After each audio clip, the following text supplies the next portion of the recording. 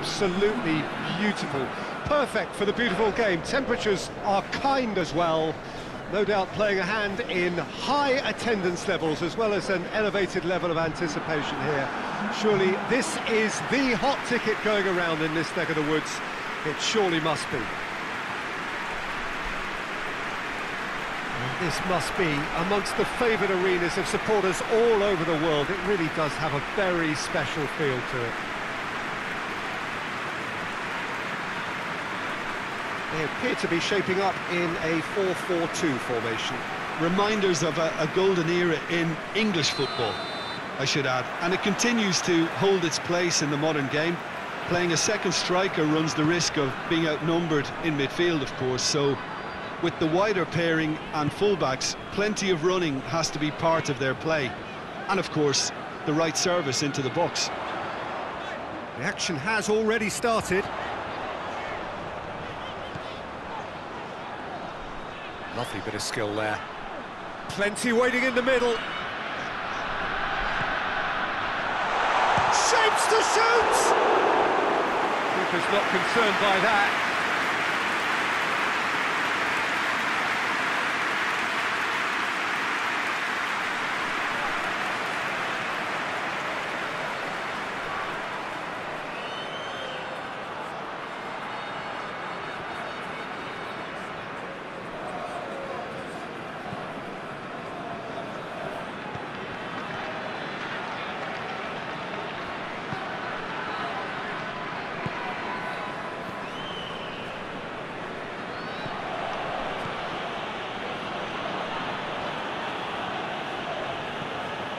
Nantes are seeing more of the ball, but still aren't carrying much goal threat. Tries to get it forward quickly.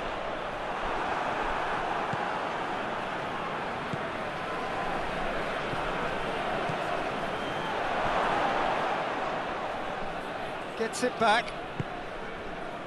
Defenders on the back foot. Plays it out to the flank. He's got options out wide. Oh, that is lovely footwork.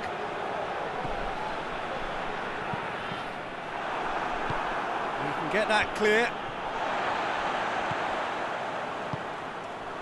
He's to... And the shot! Gets his foot in there. Well, the ball's come loose and the chase is on.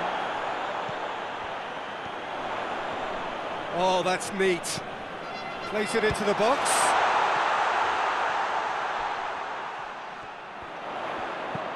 Goes for the cross. Keeper's ball.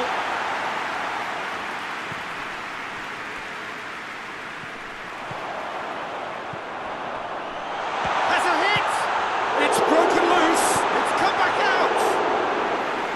Oh, and they really should have been made to pay.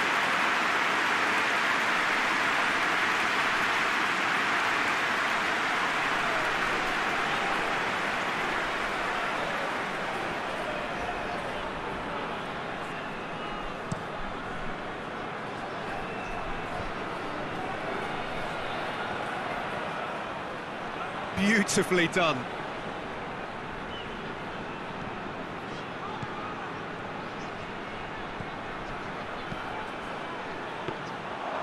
was always going to be the keepers.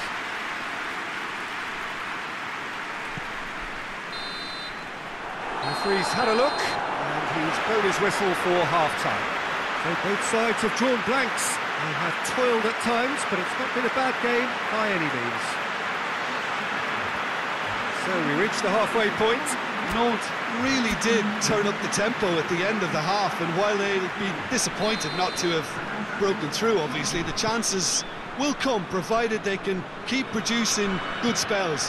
It's been a half with significantly more positives than negatives, I feel. And after 45 minutes, it is still goalless. A change, perhaps, after half-time. And the game has already. Ronnie Lopez! attempts. It's the wrong outcome.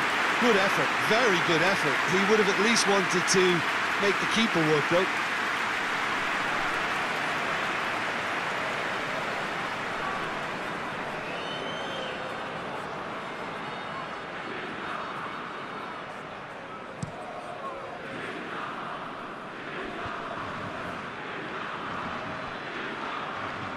That's a throw.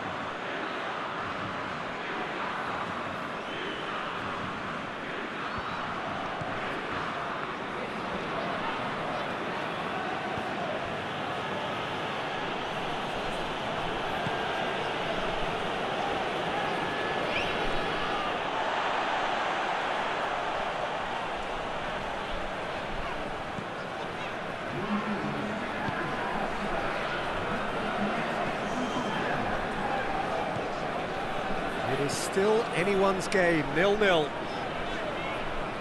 And he's got the ball glued to his feet. Ball's loose, who's getting there?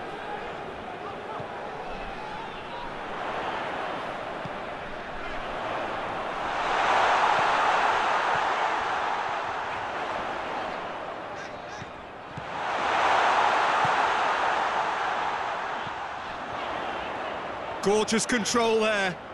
Looking for a decent ball in. Turns and goes back. That's pretty clear. It is a foul.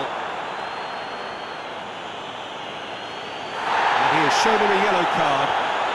The player's protesting furiously, but there's little or no sympathy from the ref. Well, I think the alternative was to stand there and, and do nothing while he, he tried to score, and obviously he's not going to allow that, Peter, is he?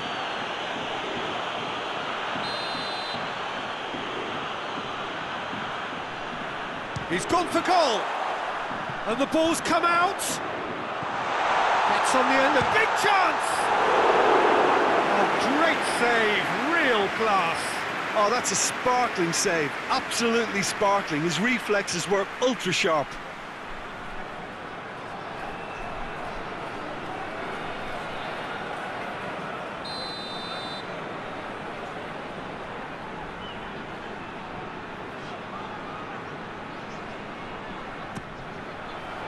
Defending of the desperate variety. Nantes merit full marks for their attitude and application in trying to win this. It means an awful lot, obviously.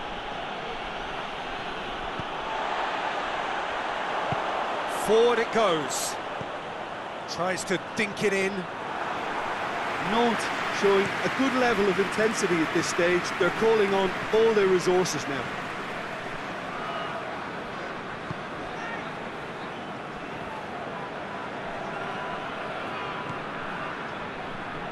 Well, they're supposed to be chasing a goal, and yet there's no urgency or sense of awareness. They've got to wake up.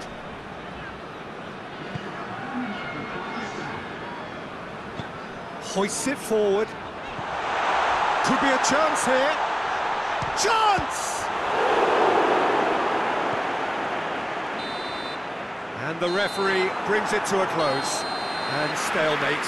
One, if not for fans, then perhaps for coaches, satisfied by organisation and solidity. Little cutting edge at either end, and it finishes nil-nil. Your final thoughts, Jim? Nantes can always take more positives from a result like this. Yes, there is some tidying up to do, but some real promise too.